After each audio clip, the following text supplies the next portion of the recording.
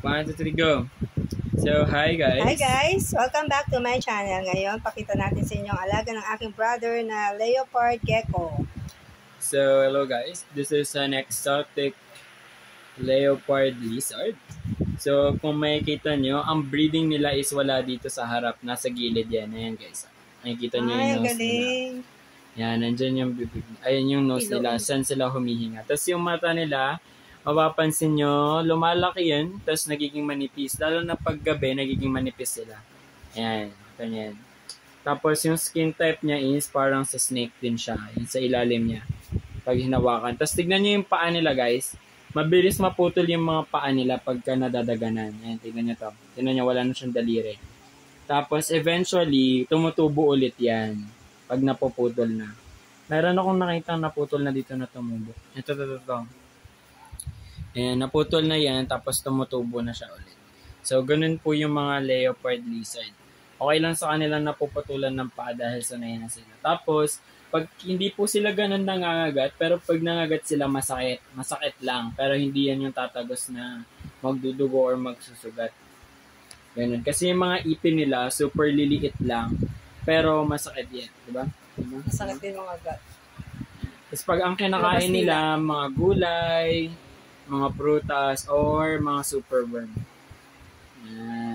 Sila. So, ayan po siya guys.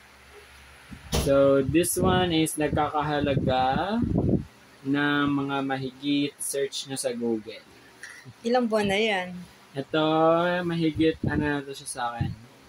Ah, mga se, mga 3 months. Pero medyo payat na? siya kasi dahil tamad siya kumain.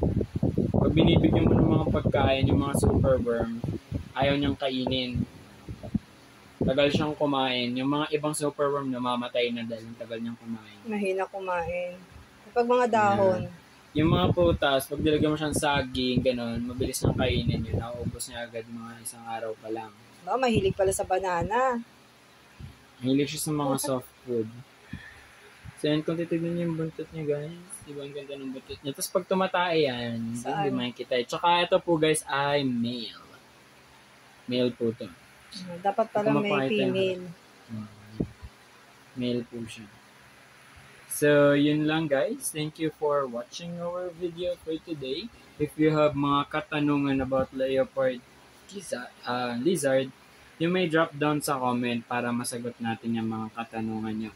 And kung gusto nyo din ng part 2 ng aming mahiwagang vlog para sa leopard lizard, sabihin nyo lang din. And I'm giving you a pro tip kung gusto nyo mag-alaga, dapat magkaroon kayo ng enclosure, yung mga ganitong lalagyan. Or yung mga aquarium, the best. Tapos, ang mga leopard um, lizard, gusto nila lagi may tubig, tsaka basa yung sahig nila. Kaya naglalagay akong tissue is para nagmo-moist yan. Tapos, pag natutulog sila, Absorb. gusto nila na itakip sila. Kaya ito, sakop niya yung kama yun. Tapos minsan nasa ibabaw siya or minsan nasa loob din siya natutulog.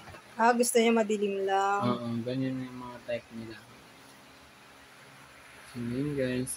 Mabilis din itong tumakbo. Ay, Mga tumatalon-talon din yan. eh buti pag natutulog, di siya, di na nabubuksan. Hindi Takip. yan nabubuksan kasi mabigat yan. Hmm, yun Ilang lang months siya. na yan? Three months? Mm-mm. Tapos ano lang to, may lang siya matulog, gano'n. Pagka gusto niyo mag-alaga talaga, yung mga sobrang exotic, ganito. Tapos super fragile din niya rin alagaan. Kasi nga, yung mga ganitong mga lizard is hindi ganun-ganun lang basa-basa inaalagaan kasi mabilis silang mamatay. Dapat pala, ano, alagang... Alag, alagang alaga talaga sila dapat. Tsaka hindi din sila lagi pinapakailangan. So yun, pwede mo rin siya lagay kung gusto mo sa ulo. So yun yung bunga.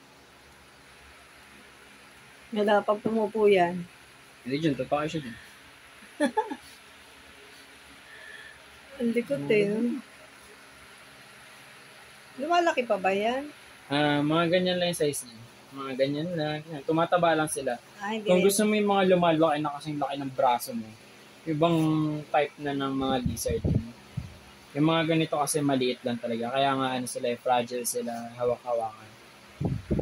Na.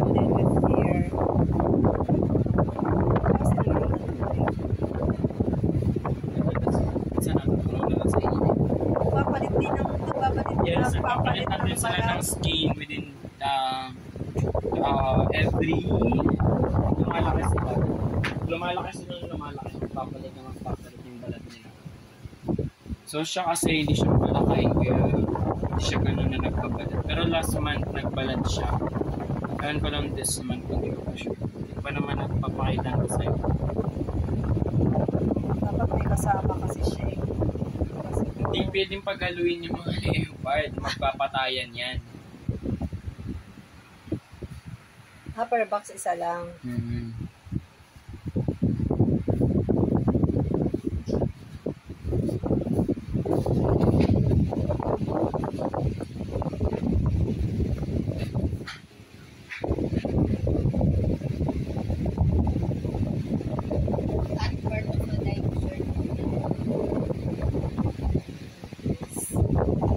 Guys, please comment, like, oops, share, and subscribe.